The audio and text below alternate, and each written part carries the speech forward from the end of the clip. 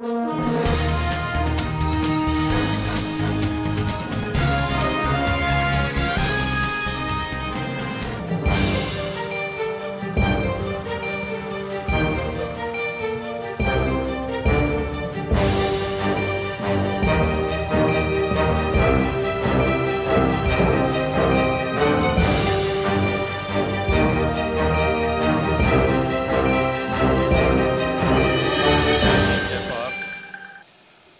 ਅੱਜ ਅਸੀਂ ਸ਼ਹਿਰ ਮਾਛੀਵਾੜਾ, ਜਿੱਥੇ ਗੁਰੂਆਂ ਦੀ ਚਰਨ ਛੋਹ ਧਰਤੀ ਹੈ, ਜਿੱਥੇ ਗੁਰੂ ਸਾਹਿਬ, ਗੁਰੂ ਗ੍ਰੰਥ ਸਾਹਿਬ ਜੀ ਮਹਾਰਾਜ ਜੀ ਆਪ ਆਏ ਨੇ ਤੇ ਅੱਜ ਉਹਨਾਂ ਦੀ ਧਰਤੀ ਤੇ ਅਸੀਂ ਮਾਛੀਵਾੜਾ ਸਾਹਿਬ ਵਿਖੇ ਖੜੇ ਹਾਂ।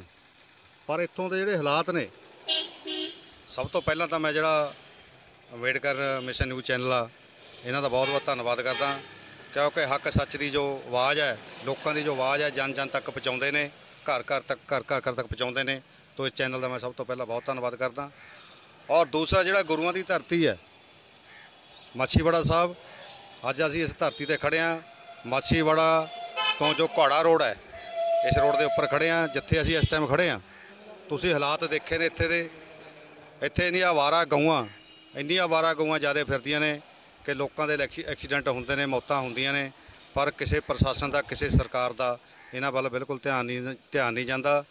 ਔਰ ਦੂਸਰਾ ਬਿਲਕੁਲ ਜਿੱਥੇ ਆ ਤੁਹਾਨੂੰ ਅਸੀਂ ਦਿਖਾ ਰਹੇ ਹਾਂ ਵੀ ਜਿੱਥੇ ਗੰਦ ਪਿਆ ਹੋਇਆ, ਇੱਕ ਕਮਿ- ਕਮਿਊਨਿਟੀ ਸੈਂਟਰ ਬਣਿਆ ਆ ਇੰਦਰਾ ਕਲੋਨੀ ਦੇ ਵਿੱਚ। ਇਹਦੇ ਸਾਹਮਣੇ ਬਿਲਕੁਲ, ਔਰ ਦੂਸਰਾ ਬਿਲਕੁਲ ਸਾਹਮਣੇ ਸਟੇਡੀਅਮ ਬਣਿਆ ਆ। ਸਟੇਡੀਅਮ ਦੇ ਬਾਹਰ, ਗੇਟ ਦੇ ਬਾਹਰ ਇੰਨਾ ਗੰਦ ਪਿਆ ਹੋਇਆ ਤੇ ਜਿਹਨੂੰ ਅਸੀਂ ਮਤਲਬ ਕਹਿ ਨਹੀਂ ਸਕਦੇ, ਤੁਸੀਂ ਦੇਖ ਨਹੀਂ ਸਕਦੇ, ਹਾਲਾਤ ਇਦਾਂ ਦੇ ਨੇ। ਮੇਰੇ ਸਾਹਮਣੇ ਬਿਲਕੁਲ ਇੱਕ ਬੱਸ ਸਟੈਂਡ ਆ, ਬੱਸ ਸਟੈਂਡ ਦਾ ਵੀ ਇਹੀ ਹਾਲਾਤ ਆ। ਔਰ ਦੂਸਰਾ ਟੈਲੀਫੋਨ ਐਕਸਚੇਂਜ ਟੈਲੀਫੋਨ ਐਕਸਚੇਂਜ ਆ, ਉਹਦੇ ਸਾਹਮਣੇ ਬਿਲਕੁਲ ਅਵਾਰਾ ਗਊਆਂ ਬੈਠੀਆਂ ਨੇ। ਗਿਣ ਜਿਨ੍ਹਾਂ ਦੀ ਗਿਣਤੀ ਨਹੀਂ ਹੋ ਸਕਦੀ, ਇੰਨੀਆਂ ਗਊਆਂ ਇੱਥੇ ਫਿਰਦੀਆਂ ਨੇ ਮਾਛੀਵਾੜਾ ਸਾਹਿਬ ਦੇ ਵਿੱਚ। ਸੋ ਸਾਡੀ ਇਹ ਬੇਨਤੀ ਆ, ਗੁਰੂ ਘਰ ਆ, ਬਿਲਕੁਲ ਸਾਡੇ, ਬਿਲਕੁਲ ਜਿੱਥੇ ਅਸੀਂ ਖੜੇ ਆ, ਬਿਲਕੁਲ ਮੇਰੇ ਨਾਲ 10 ਗਜ਼ ਤੇ ਗੁਰੂ ਘਰ ਆ। ਗੁਰੂ ਘਰ ਦੇ ਸਾਹਮਣੇ ਵੀ ਇੰਨੀ ਮਾੜੀ ਹਾਲਾਤ ਆ, ਇੰਨੇ ਵਾਰਾ ਪਸ਼ੂ, ਇੰਨਾ ਗੰਦ ਪਿਆ ਹੋਇਆ। ਸੋ ਮੈਂ ਇਸ ਕਰਕੇ, ਇਹ ਮੈਂ ਇਸ ਕਰਕੇ ਤੁਹਾਨੂੰ ਦੱਸਣਾ ਚਾਹੁੰਦਾ ਵੀ ਗੁਰੂਆਂ ਦੀ ਧਰਤੀ ਆ, ਗੁਰੂਆਂ ਦੀ ਚਰਨ ਸੋ ਧਰਤੀ ਆ ਮਾਛੀਵਾੜਾ ਸਾਹਿਬ। ਜਦੋਂ ਇੱਥੇ ਦੇ ਹਾਲਾਤ ਹੋ ਸਕਦੇ ਨੇ, ਤੇ ਫਿਰ ਆਮ ਲੋਕਾਂ ਦੇ, ਆਮ ਜਨਤਾ ਦਾ ਕੀ ਹਾਲ ਹੋਗਾ ਮਾਛੀਵਾੜਾ ਸਾਹਿਬ ਦੀਆਂ ਸੜਕਾਂ ਦੇਖੀਆਂ ਮੈਂ ਜਾ ਕੇ ਇੱਥੇ। ਪਰ ਇਦਾਂ ਦੀਆਂ ਸੜਕਾਂ ਮੇਰਾ ਖਿਆਲ ਵੀ ਕਿਸੇ ਪੰਜਾਬ ਦੇ ਵਿੱਚ ਨਹੀਂ ਹੋ ਸਕਦੀਆਂ। ਸੜਕਾਂ ਦਾ ਇੰਨਾ ਬੁਰਾ ਹਾਲ ਆ। ਸੋ ਇੰਨੀ ਦੂਰੋਂ ਦੂਰੋਂ ਜਨਤਾ ਜੋ ਲੋਕ ਆਉਂਦੇ ਨੇ, ਮੱਥਾ ਟੇਕਣ ਆਉਂਦੇ ਨੇ, ਗੁਰਦੁਆਰਾ ਚਰਨ ਸਮ ਕਰਨ- ਚਰਨ ਕਮਲ ਸਾਹਿਬ ਵਿਖੇ। ਸੋ ਲੋਕ ਆ ਕੇ ਇੱਥੇ ਦੇਖਦੇ ਨੇ ਵੀ ਮਾਛੀਵਾੜਾ ਦੇ ਹਾਲਾਤ ਇਹੋ ਜਿਹੇ ਨੇ, ਪਰ ਇਦਾਂ ਦੇ ਪੰਜਾਬ ਦੇ ਹਾਲਾਤ ਕਿਤੇ ਨਹੀਂ। ਅਸੀਂ ਸਾਡੀ ਲੋਕਾਂ ਨਾਲ, ਆਮ ਲੋਕਾਂ ਨਾਲ ਵੀ ਗੱਲ ਹੁੰਦੀ ਹੈ ਉਹ ਕਹਿੰਦੇ ਵੀ ਬਹੁਤ ਮਾੜੇ ਹਾਲਾਤ ਨੇ। ਸੋ ਇਸ ਕਰਕੇ ਸਾਡੀ ਬੇਨਤੀ ਹੈ ਵੀ ਇਹ ਸਰਕਾਰ ਨੂੰ ਧਿਆਨ ਦੇਣਾ ਚਾਹੀਦਾ। ਇਹ ਜੋ ਇੱਥੇ ਗੰਦ ਪਿਆ, ਇਹਨੂੰ ਸਾਫ਼ ਕਰਨਾ ਚਾਹੀਦਾ। ਇੱਥੋਂ ਦੇ ਜਿਹੜੇ ਮੈਂ ਇੱਕ ਹੋਰ ਇੱਥੇ ਬੇਨਤੀ ਕਰਨੀ ਚਾਹਾਂਗਾ, ਜਿਹੜੇ ਕਿਸਾਨ ਭਰਾ ਨੇ, ਉਹਨਾਂ ਦਾ ਇੰਨਾ ਉਜਾੜਾ ਹੋ ਰਿਹਾ ਅਵਾਰਾ ਗਊਆਂ ਦੇ ਨਾਲ, ਉਹਨਾਂ ਨੇ ਬਹੁਤ ਵਾਰੀ ਐਸਡੀਐਮ ਸਾਹਿਬ ਸਮਰਾਲਾ ਨੂੰ ਵੀ ਮਿਲੇ ਨੇ, ਅਸੀਂ ਵੀ ਨਾਲ ਮਿਲੇ ਆ ਪਰ ਕੋਈ ਇੱਥੇ ਕਾਰਵਾਈ ਨਹੀਂ ਹੋਈ।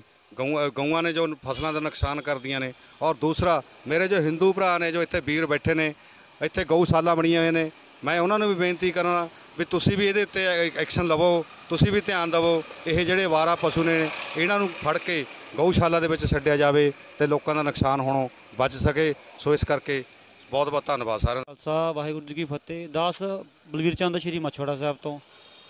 ਪਿਛਲੇ ਕਾਫੀ ਸਮੇਂ ਤੋਂ ਅਸੀਂ ਇੰਦਰਾ ਕਲੋਨੀ ਸਾਹਿਬ ਦਾ ਜਿਹੜਾ ਗੁਰਦੁਆਰਾ ਸਾਹਿਬ ਆ, ਉਹਦੇ ਨਾਲ ਜੁੜੇ ਹੋਏ ਆ। ਪਰ ਜਿਹੜੀ ਇੱਥੇ ਦੀ ਹਾਲਾਤ ਨੇ ਮੌਕੇ ਤੇ ਮੌਜੂਦ, ਹਾਲਾਤ ਬਹੁਤ ਹੀ ਬੱਤਰ ਨੇ, ਦਿਨੋਂ ਦਿਨ ਬੱਤਰ ਹੁੰਦੇ ਜਾ ਰਹੇ ਨੇ। ਨਗਰ ਕੌਂਸਲ ਦੇ ਕੰਨਾਂ ਦੇ ਉੱਪਰ ਜੂ ਨਹੀਂ ਸਰਕਦੀ। ਕਈ ਵਾਰ ਉਹਨਾਂ ਨੂੰ ਬੇਨਤੀ ਕਰ ਚੁੱਕੇ ਆ, ਪਰ ਹਮੇਸ਼ਾ ਝੂਠੇ ਲਾਰੇ, ਝੂਠੇ ਵਾਅਦੇ ਸਾਡੇ ਨਾਲ ਕਰਕੇ ਸਾਨੂੰ ਉੱਥੇ ਤੋੜ ਦਿੱਤਾ ਜਾਂਦਾ ਆ। ਕੁਝ ਦਿਨ ਪਹਿਲਾਂ ਐਸਓ ਸਾਹਿਬ ਨੂੰ ਮੌਕਾ ਵੀ ਦਿਖਾਇਆ ਗਿਆ ਤੇ ਉਹਨਾਂ ਨੇ ਸਾਨੂੰ ਭਰੋਸਾ ਦਿਵਾਇਆ ਕਿ ਅਸੀਂ ਇਸ ਨੂੰ ਜਲਦੀ ਤੋਂ ਜਲਦੀ ਸੁਧਾਰਨ ਦੀ ਕੋਸ਼ਿਸ਼ ਕਰਾਂਗੇ। ਪਰ ਜਿਵੇਂ ਜਿਵੇਂ ਸਮਾਂ ਪੈ ਜਾਂਦਾ, ਉਵੇਂ ਉਵੇਂ ਗੱਲ ਠੰਡੀ ਹੋ ਜਾਂਦੀ ਹੈ। ਸੋ ਸਾਡੀ ਪ੍ਰਸ਼ਾਸਨ ਨੂੰ ਬੇਨਤੀ ਹੈ, ਗੁਰਦੁਆਰਾ ਸਾਹਿਬ ਨੂੰ ਮੱਦੇਨਜ਼ਰ ਰੱਖਦੇ ਹੋਏ ਇੱਥੇ ਜੋ ਵੀ ਬਣਦੀ ਜ਼ਿਆਦਾ ਤੋਂ ਜ਼ਿਆਦਾ ਸਫ਼ਾਈ ਦਾ ਪ੍ਰਬੰਧ ਕੀਤਾ ਜਾਵੇ। ਅਵਾਰਾ ਗਊਆਂ ਜਿਹੜੀਆਂ, ਅਵਾਰਾ ਘੁੰਮਦੀਆਂ ਨੇ ਇੱਥੇ, ਐਕਸੀਡੈਂਟ ਹੁੰਦੇ ਨੇ ਨਿਤਨ ਮੇਰੇ ਖੁਦ ਨਾਲ ਹਾਦਸਾ ਵਾਪਰਿਆ। ਸੋ ਇਹਨਾਂ ਗਊਆਂ ਨੂੰ ਫੜ ਕੇ ਗਊਸ਼ਾਲਾ ਛੱਡਿਆ ਜਾਵੇ ਅਤੇ ਸਟੇਡੀਅਮ ਦੀ ਅਤੇ ਬੱਸ ਸਟੈਂਡ ਦੀ ਜਿਹੜੀ ਹਾਲਾਤ ਹੈ, ਉਹ ਜਲਦੀ ਜਲਦੀ ਸੁਧਾਰੀ ਜਾਵੇ ਜੀ। ਵਾਹਿਗੁਰੂ ਜੀ ਕਾ ਖਾਲਸਾ, ਵਾਹਿਗੁਰੂ ਜੀ ਕੀ ਫਤਿਹ। ਵਾਹਿਗੁਰੂ ਜੀ ਕੀ ਫਤਿਹ, ਜੈ ਭੀਮ, ਜੈ ਭਾਰਤ। ਅੱਜ ਸਾਡੇ ਦਰਮਿਆਨ ਅੰਬੇਦਕਰ ਨਿਊਜ਼ ਚੈਨਲ ਦੇ ਪਹੁੰਚੇ ਹੋਏ ਪੱਤਰਕਾਰ, ਉਹਨਾਂ ਦਾ ਵੀ ਅਸੀਂ ਧੰਨਵਾਦ ਕਰਦੇ ਹਾਂ। ਤੇ ਸਾਡੇ ਵਿੱਚ ਪਹੁੰਚੇ ਦਲਵੀਰ ਸਿੰਘ ਮੰਡਿਆਲਾ, ਬਲਵੀਰ ਜੀ ਤੇ ਹੋਰ ਸਾਡੇ ਸਾਥੀ। ਅੱਜ ਅਸੀਂ ਮਾਛੀਵਾੜਾ ਸ਼ਹਿਰ ਦੇ ਵਿੱਚ ਜਦੋਂ ਪਹੁੰਚੇ ਤਾਂ ਇੱਥੇ ਦੇਖਿਆ ਕਿ ਬਹੁਤ ਹੀ ਜ਼ਿਆਦਾ ਸਟੇਡੀਅਮ ਦੇ ਅੱਗੇ ਕਮਿਊਨਿਟੀ ਸੈਂਟਰ ਦੇ ਅੱਗੇ ਔਰ ਨਾਲ ਹੀ ਗੁਰੂ ਘਰ ਆ। ਇਸ ਦੇ ਅੱਗੇ ਬਹੁਤ ਹੀ ਜ਼ਿਆਦਾ ਗੰਦ ਪਿਆ ਹੋਇਆ, ਕੋਈ ਡੰਪ ਦਾ ਪ੍ਰਬੰਧ ਨਹੀਂ ਹੈਗਾ। ਮਾਛੀਵਾੜਾ ਦਾ ਕਾਰਜਕਾਲ ਬਹੁਤ ਹੀ ਬੇਫਾ, ਘਟੀਆ ਹੋ ਚੁੱਕਿਆ ਹੈ ਔਰ ਇੱਥੇ ਆਵਾਰਾ ਗਊਆਂ, ਜਿਨ੍ਹਾਂ ਦਾ ਕਿ ਬਹੁਤ ਹੀ ਆਤਕ ਹੈ, ਉਸ ਦੇ ਨਾਲ ਬਹੁਤ ਹੀ ਜ਼ਿਆਦਾ ਐਕਸੀਡੈਂਟ ਹੋ ਰਹੇ ਨੇ। ਸੋ ਸਾਡੀ ਪ੍ਰਸ਼ਾਸਨ ਨੂੰ ਇਹੀ ਬੇਨਤੀ ਆ ਕਿ ਇਹਨਾਂ ਦੇ ਉੱਤੇ ਜਲਦੀ ਤੋਂ ਜਲਦੀ ਨੱਥ ਪਾਈ ਜਾਵੇ। ਧੰਨਵਾਦ ਜੀ ਦੇ ਮੂਰੇ ਗੁਰਦੁਆਰਾ ਸ੍ਰੀ ਗੁਰੂ ਰਵਿਦਾਸ ਮਹਾਰਾਜ ਜੀ ਦਾ ਉੱਥੇ ਇੱਕ ਡੰਪ ਬਣਿਆ ਹੋਇਆ ਜਿੱਥੇ ਕਿ ਬਹੁਤ ਜ਼ਿਆਦਾ ਗੰਦਗੀ ਹੈ ਉਹਦੇ ਬਾਰੇ ਤੁਹਾਡਾ ਕੀ ਕਹਿਣਾ ਉਹ ਡੰਪ ਕੂੜਾ ਜਿਹੜਾ ਲੋਕਲ ਲੈਵਲ ਤੋਂ ਆਂਦਾ ਹੈ ਤੇ A to Z ਕੰਪਨੀ ਚੱਕ ਕੇ ਲੈ ਕੇ ਜਾਂਦੀ ਹੈ। ਡੇਲੀ ਡੇਲੀ ਕਲੈਕਸ਼ਨ ਉੱਥੋਂ ਚੱਕੀ ਜਾਂਦੀ ਹੈ। ਸਰ ਅੱਜ ਅਸੀਂ ਉੱਥੇ ਮੌਕਾ ਦੇਖਿਆ ਉੱਥੇ ਬਹੁਤ ਜ਼ਿਆਦਾ ਸੀਗਾ। ਕਿਸੇ ਨੇ ਕੋਈ ਚੱਕਿਆ ਨਹੀਂ ਉੱਥੋਂ। ਕੀ ਕਹਿਣਾ ਚਾਹੋਗੇ? ਨਹੀਂ ਉਹ ਕੋਈ ਦੁਪਹਿਰ ਤੋਂ ਬਾਅਦ ਵੀ ਚੱਕ ਸਕਦੇ ਨੇ। ਉਹ ਜਦੋਂ ਟਾਈਮ ਲੱਗਦਾ ਉਹਨਾਂ ਨੂੰ ਕਿ ਉਹ ਸਾਰੇ ਸ਼ਹਿਰ ਦਾ ਚੱਕਣਾ ਹੁੰਦਾ ਉਹਨਾਂ ਨੇ। ਹਰੇਕ ਡੰਪ ਤੋਂ ਚੱਕ ਕੇ ਲੈ ਕੇ ਜਾਂਦੇ ਨੇ। ਜਦੋਂ ਇਹਦਾ ਨੰਬਰ ਲੱਗੂ ਉਸ ਤੋਂ ਬਾਅਦ ਚੱਕ ਲੈਣਗੇ ਉਹ ਵੀ। ਸ਼ਹਿਰ ਦੇ ਵਿੱਚ ਆਵਾਰਾ ਪਸ਼ੂ ਵੀ ਬਹੁਤ ਫਿਰ ਰਹੇ ਨੇ। ਤਾਂ ਲੋਕਾਂ ਦਾ ਜਾਨ ਮਾਲ ਦਾ ਵੀ ਬਹੁਤ ਨੁਕਸਾਨ ਹੋ ਰਿਹਾ। ਤਾਂ ਪਸ਼ੂਆਂ ਬਾਰੇ ਤੁਹਾਡਾ ਕੀ ਕਹਿਣਾ? ਉਹ ਸ- ਅਸੀਂ ਪਿੱਛੇ 10 ਪਸ਼ੂ ਛੱਡੇ ਸੀ ਗਊਸ਼ਾਲਾ ਦੇ ਵਿੱਚ। ਤੇ ਇੱਕ ਪਸ਼ੂ ਡੇਲੀ ਡੇਲੀ ਕਦੇ ਕੋਈ ਕੋਈ ਕਿਤੋਂ ਆ ਜਾਂਦਾ, ਕੋਈ ਕਿਤੋਂ ਆ ਜਾਂਦਾ ਹੈ।